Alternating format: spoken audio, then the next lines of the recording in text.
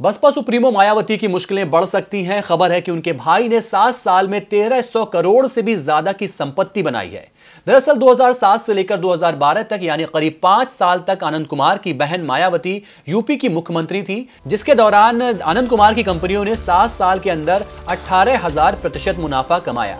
बताया जा रहा है कि आनंद कुमार कम से कम 12 बड़ी कंपनियों के मालिक हैं। उनकी 1316 करोड़ की जो संपत्ति जाँच के दायरे में है, उसमें 440 करोड़ रुपए कैश, जबकि 870 करोड़ रुपए ज़मीन सहित अचल संपत्ति के रूप में है।